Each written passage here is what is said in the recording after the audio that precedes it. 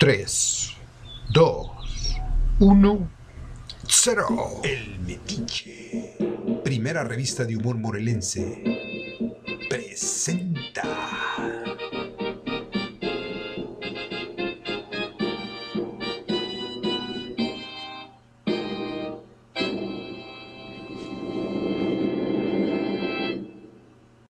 En este año en el cual se cumple el bicentenario de la consumación de la independencia en México, recordamos a don Vicente Guerrero, continuador de las batallas por la libertad iniciadas por Hidalgo y secundadas por Morelos.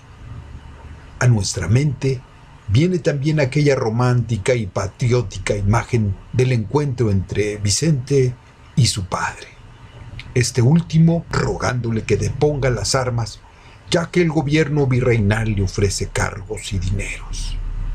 A lo que después de presentar a su padre con su tropa, le expresa que no lo hará porque la patria es primero.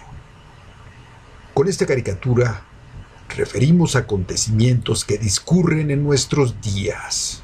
Saludos de Soto Caricaturista desde la revista El Mediche y el Museo de la Caricatura y la Historieta Joaquín Cervantes Basoco en Arenecuilco, Morelos.